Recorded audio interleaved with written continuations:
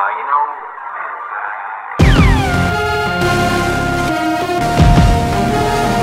I've done the Open six times. The first time was in 2012 after doing CrossFit for like eight months, I guess, like at an actual gym. Five more times where I made it to regionals, two times on the team here, and uh, three times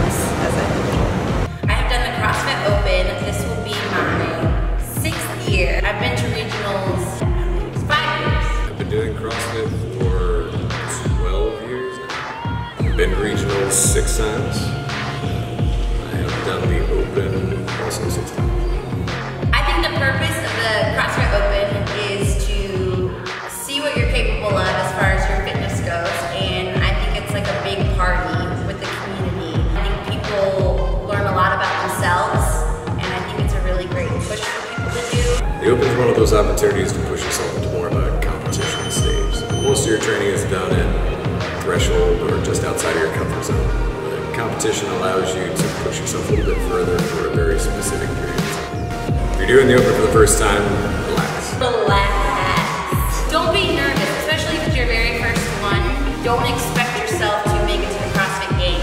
Maybe I'll get my first pull-up, or maybe I'll be able to do a double under, and just have fun. It's just exercise. Let's burn some calories and try to meet your friend next time. It's really not a big deal. like, like, don't freak out. Like, have fun. Um, just use it as an opportunity to try to push yourself a little bit harder than maybe you normally would. We're going to program the workouts anyway. Might as well sign up for it and have it scored.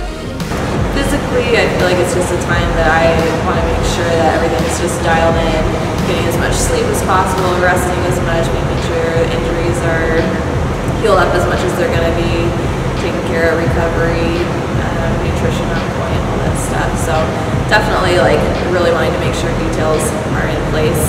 My process of thinking and my training and my eating stays the same throughout the entire year. If you want to be a regional athlete, you've got to train for the open. I think the main focus comes down to what the typical open workouts end up being. So you've got to be able to pass that first test and be able to go on to the next. oh my god, I can't do this, I suck, I'll never be able to do it, I can't do it.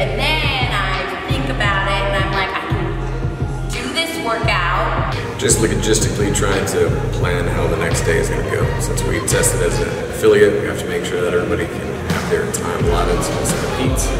For the competitors, as a coach, try to game plan what are going to be the strategies that we can use to maximize each individual's performance, what individuals are going to have some difficulty with this combination of movements, this time domain. See if we can come up with a plan to help minimize their weaknesses and help them perform as best as they can. Favorite movement to see in the open is thrusters. Every freaking year is thrusters. High rep, lightweight, snatches with barbell. I hate deadlifts. Um, I mean, a lot of it's just in your head and um, just knowing that it's for a short period of time and um, it's not going to kill you, most likely. and just push through. It's an opportunity just to go a little bit harder than you normally would. Your comfort zone is largely in your head. To a certain point, you're just worried that it's going to hurt worse, and so you freak out more about the fear of it being more uncomfortable than you are about the fear of actual damage or possible injury. You got to kind of push that boundary from time to time. Part of the reason that the Open is a community event, we want people to push themselves to a level that they probably haven't gone before. So pushing the upper edge of their competitive capacity just to see what they're really capable of. you should be excited to do the open workouts here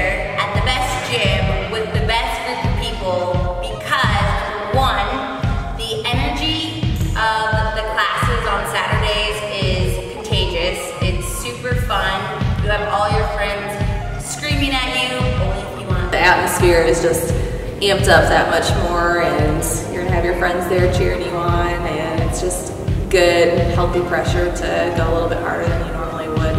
relax. You trained really hard the previous year to do your best. Now you just got to go with the game plan. So know what your strengths and weaknesses are. Try to play to your strengths, minimize weaknesses, have a game plan going in. Be ready to roll with the punches and have at least one, if not two, backup. That way, when things don't go perfectly, you don't just fall apart mentally as you're in the middle of the open workouts. You don't want to have to try to do it three or four times in order to come up with a backup plan. So go to the plan, a backup plan. When things don't go perfectly, roll the punches.